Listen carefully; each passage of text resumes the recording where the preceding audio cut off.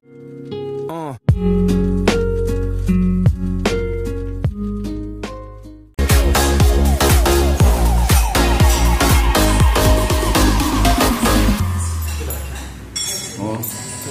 Ya, kita akan melepas pangkon sekok menggunakan obeng min untuk naikkan. Terus kita naikkan, nanti kita tahan dengan kunci pas 10 sama kunci pas 14 untuk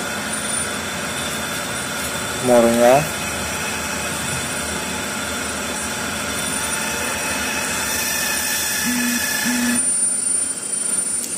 Ini kunci pas 10 di bagian atas yang 14 di bagian bawah untuk menahan mur.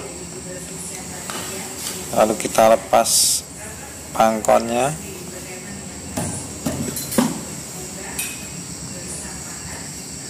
Nanti pangkonnya akan kita ganti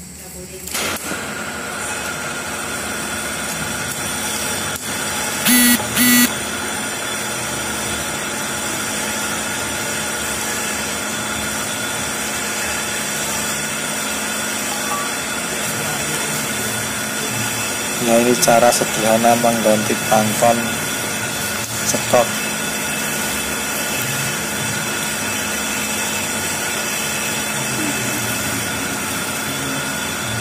ini sekok punya Mega Pro.